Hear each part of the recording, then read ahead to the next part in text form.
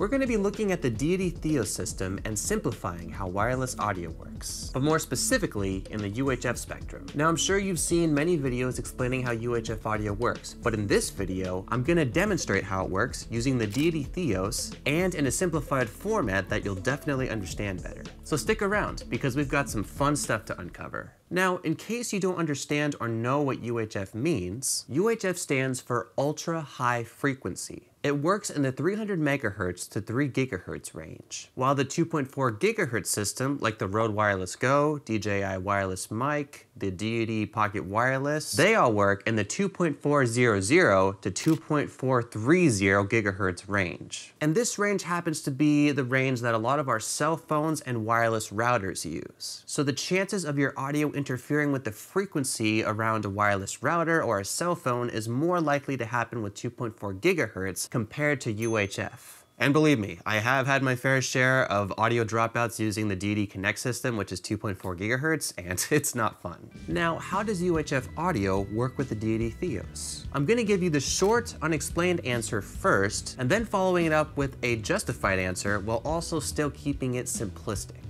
Are you following me? The short answer is the audio receiver takes information from the transmitter using a paired frequency in the UHF spectrum, let's say 600 megahertz. At the moment, this transmitter is currently connected through 656.3 megahertz. Now, why such a high number? Remember that UHF stands for ultra high frequency. That audible information received from the receiver then gets sent to the mixer through its audio input. When you connect the male XLR end of your cable into the female input of your mixer, that right there establishes the connection between your receiver and your mixer. Without it, the receiver won't have a destination to send the audio to.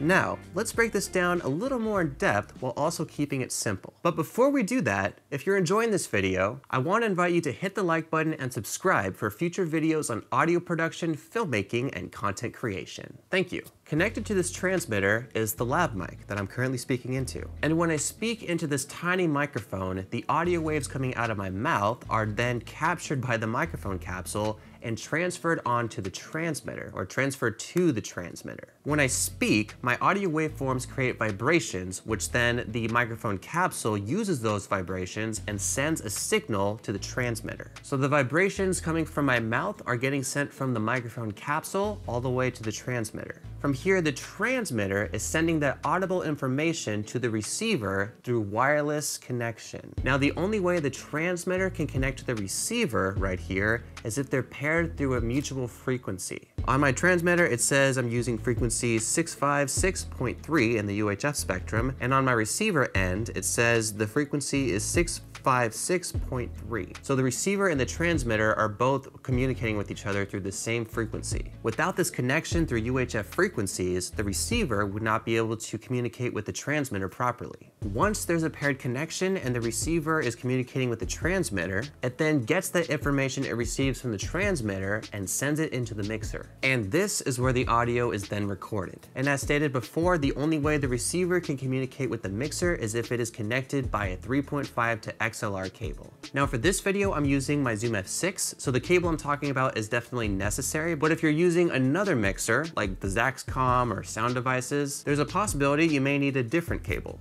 Hopefully you developed a better understanding of how the Deity Theos, nonetheless wireless audio, works. Considering this is a video, I encourage you to watch over the explanations again just to give your mind a fresh review of everything you learned. And if you have any questions about what was discussed in this video, then please leave them down in the comments below. And if you're watching this video, chances are that you also have the Deity Theos. So I would like to know what you're using the Deity Theos for, and if you're not using the Deity Theos, what wireless system are you using? If you haven't watched my first video on the Deity Theos system, then I highly encourage you to click on that video right here. You can also watch another video where I explain how I connect the Deity Theos to an external audio mixer. Thank you for choosing the Hack Experience, and I look forward to hearing from you in the comments.